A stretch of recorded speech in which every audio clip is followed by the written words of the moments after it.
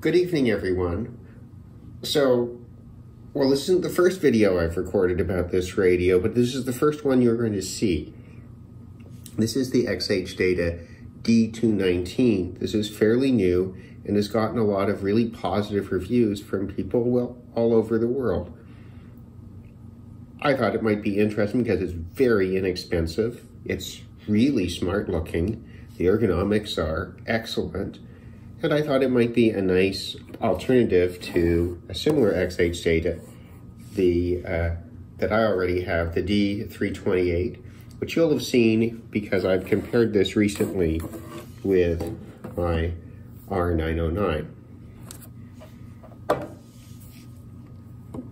Now this radio is excellent, doesn't overload, works quite well.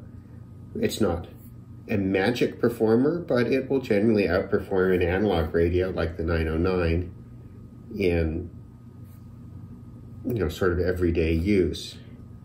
And I assumed that this would be uh, a double A powered version of the same thing. This one uses one of those flat pack batteries, Nokia style batteries.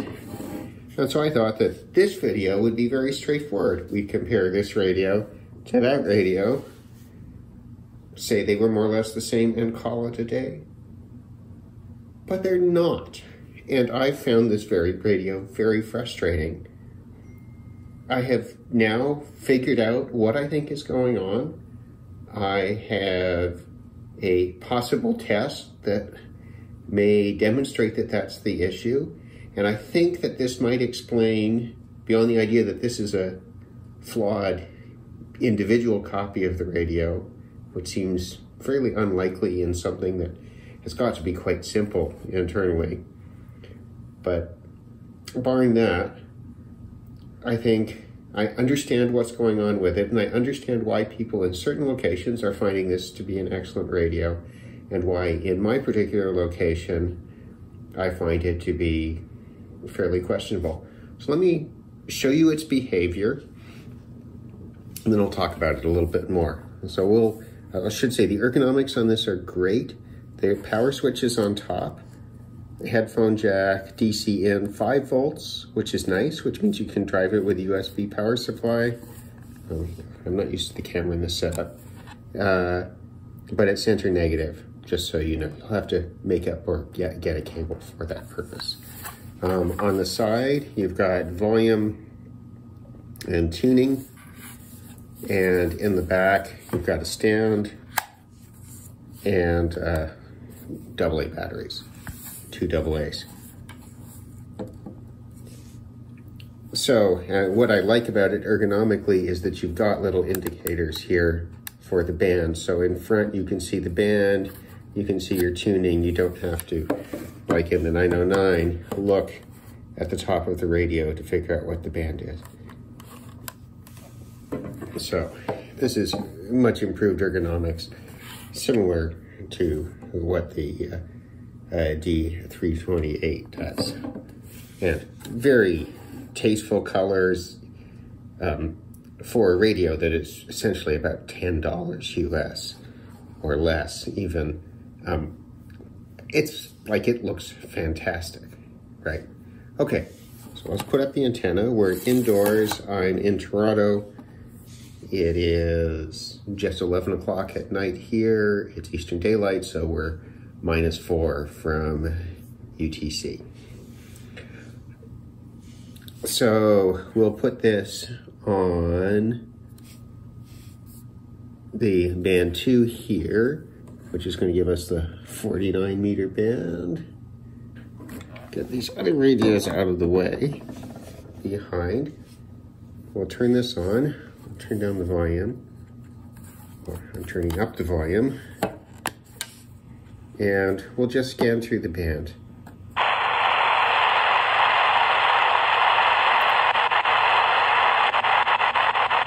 I'm just going to go very quickly.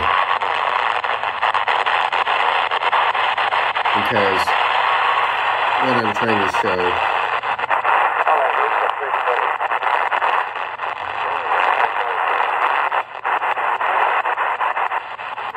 should be apparent already. it's tremendously overloaded. Now, mind you, there's no external antenna. There's no external antenna, but the radio is overloading. That band is full at this time of night.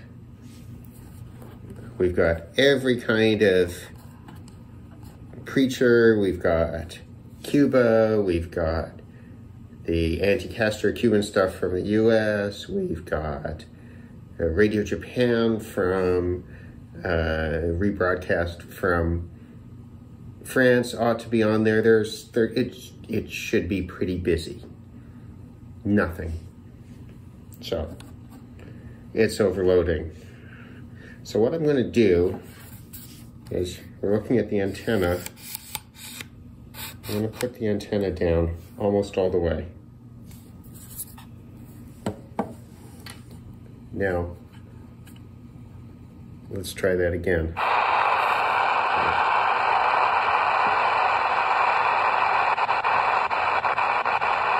Won't be much at this end of the dial.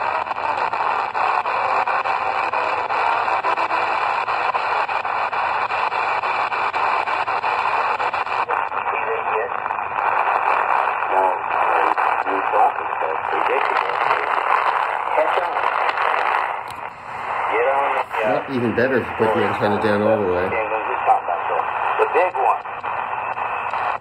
God gave the commands of the way to set up the tabernacle. You know, which went through from east, and you travel westward. People, and that's what they're, that's what they try to get for free. linked to the deforestation of the Amazon? específicas para lograr accionamientos de la Still sounds like it's overloading a bit.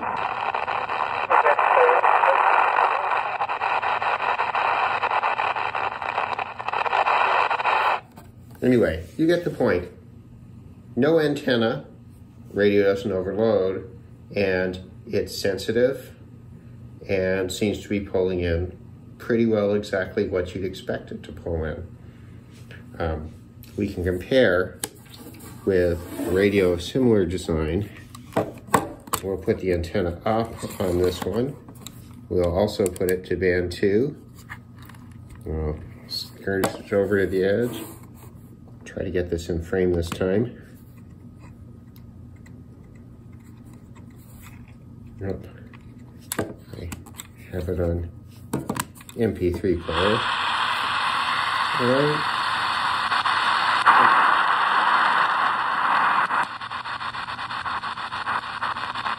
Not much at this end of the dial. And we should be get into it soon. Earth, quote, settled, unquote, like a gra- You can call that accident if you want. Johnny's a righteous man. He's been so good to... Los ensayos estamos actos de movilidad y de agarre han 強調する見通しだ。 And there's Radio Japan. 10兆円規模の基金を活用し、 That's from Easy 世界 France. トップレベルの研究力が I think I heard uh, Radio Havana, Cuba on the other excerpts data.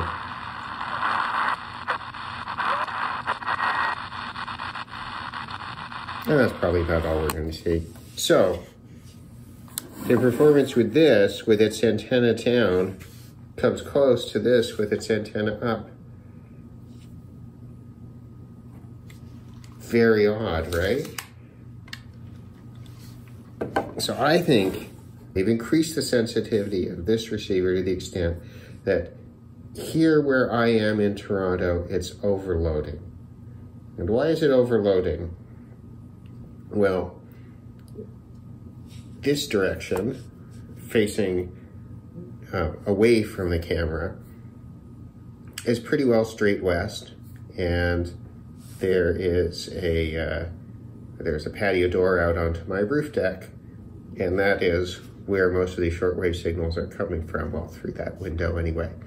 But behind me, in essentially a straight line, is the CN Tower and downtown Toronto. And I think what's going on is that this thing is getting overloaded with FM.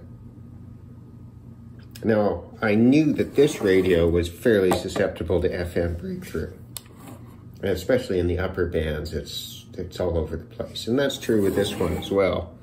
But this one in particular in the lower bands seems sensitive enough that it's drowning out its ability to pick out anything. Now, I live in downtown Toronto, but my office is in the suburbs. So this radio is going to come out with me on a trip to the office later this week.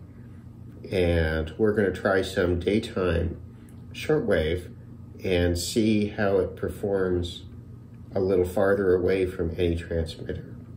I should say they're also powerful AM transmitters, 50,000 watt AM transmitters, um, almost within line of sight here as well. So lots and lots of signals poking around. Um, I will say generally for FM reception, I find most analog receivers do better if you leave the antennas down. Uh, most recent digital uh, FM receivers, this included, do fine with the antenna up. But uh, yeah. So that's kind of where I am with the D219. I can't recommend you buy it, not yet. And certainly not if you live in an urban area surrounded by powerful FM transmitters.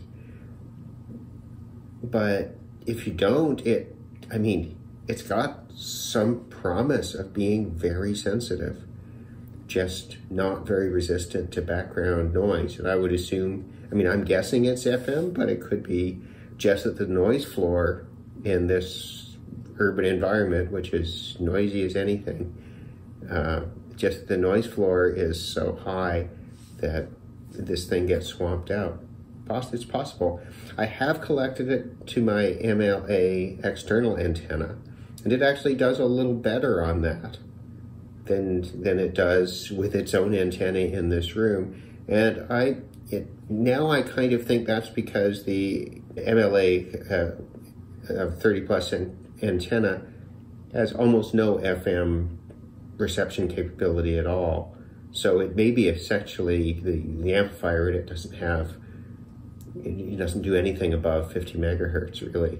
So, uh, so it may be that it's effectively acting as a band filter and shielding this thing from the FM which it's getting through its own antenna. It's a very odd thing though. Really very odd. Anyhow, I hope that was interesting. There will be a follow-up video with this radio again once I've got it out at the office. And we'll see where that takes us. Thanks a lot.